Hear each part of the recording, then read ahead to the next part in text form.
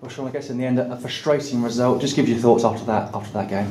Absolutely, that frustration. You know, it was a um, we had a game plan going into the game.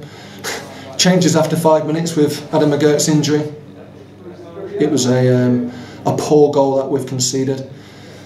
But we're up against, in my opinion, one of the well, probably the best set of players at League Two. You know, and I feel that Portsmouth shouldn't have been in this level. You know, last year they should have got promoted. They haven't. They're the favourites to go up in my eyes once again. And we've stopped so much of their play this afternoon. And if it's fine lines we're talking about, then I'm disappointed that we've not had too many efforts on goal. We've not had that, you know, creativity in the in the final third. But we're playing against Portsmouth, and they're good players, and they've got a good manager at the helm. And we've really competed once again. You know, leading into the game, we were third in the in the um, form guide. So, you know, it was a team that was high on confidence, and I thought the second half performance in particular proved what type of team we could be, albeit by that little final hurdle that we can perhaps go over today. Yeah, like you mentioned, like I mentioned there, no question about the endeavour, particularly box to box. You actually looked like a better team box to box, and it was just a case of testing the goalkeeper a little bit more than you than you did, perhaps did in the 90s. Yeah, of course, yeah. But you know, I always say, guys, you know, this is a this is a, a game that's played with two teams, not just one. You know, there's a as much work and you know kind of endeavour goes into the week from not just me and my staff, but Paul Cook's and his. You know, they want to win as you know as much as we do, and it happened to be today that it was a fine, fine line game, and it was a tight game. But it was a tight game against, for me, one of the standout teams in our division. So I'll take a lot of positives from that. Take a lot of positives from that this afternoon. Disappointed that, like I said, I'm echoing myself here. Disappointed that we've not um, you know, we've not, we've not got them final balls into the box and we've not got them heads and shots and, you know, listen, but we'll crack on. Next week we've got Dover and we want to get through to round two, so we'll look forward.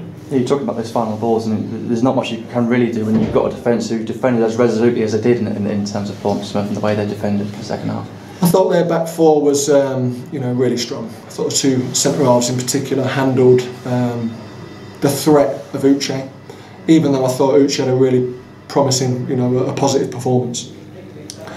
But in terms of looking at just a little bit of flair from other directions, we didn't perhaps have that today, and that disappoints me a little bit. In terms of the, so the first half, there was a, an opportunity when Uche Peter goes down in the penalty. Did you have any, any opinion on that? I had a clear view. Yeah, I thought it was a foul.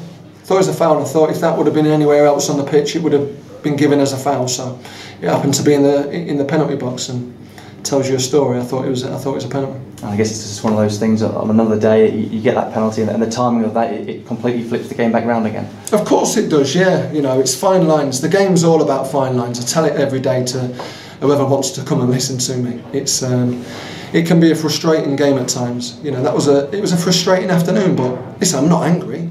I'm proud of the team. I thought the effort and the endeavour that my team produced this, this afternoon in between both box was gave us the advantage.